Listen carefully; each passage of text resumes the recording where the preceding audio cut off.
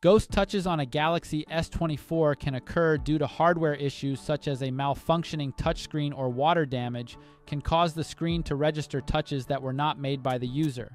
On the software side, glitches or outdated firmware can also lead to ghost touches. The first solution is to restart your Galaxy S24. A simple restart can eliminate any temporary glitches causing phantom input issues. To do this, hold down the power button and the volume down key until the power options appear. Tap Restart, wait for your phone to reboot, and then check to see if the problem is resolved. The second solution is to update your software.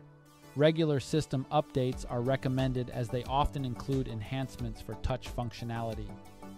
To update your phone, go to Settings, then Software Update, tap Download and Install, and if there is an update available, take time to install it. After that, check if the ghost touches have disappeared.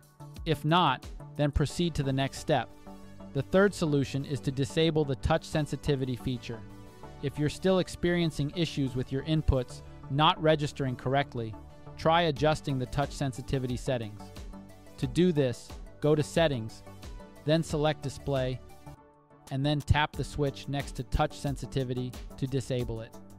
We also suggest disabling accidental touch protection if it's enabled. After doing that, check to see if the problem is resolved. If not, then you may need to have your phone checked. We hope this guide proves helpful. Thanks for watching.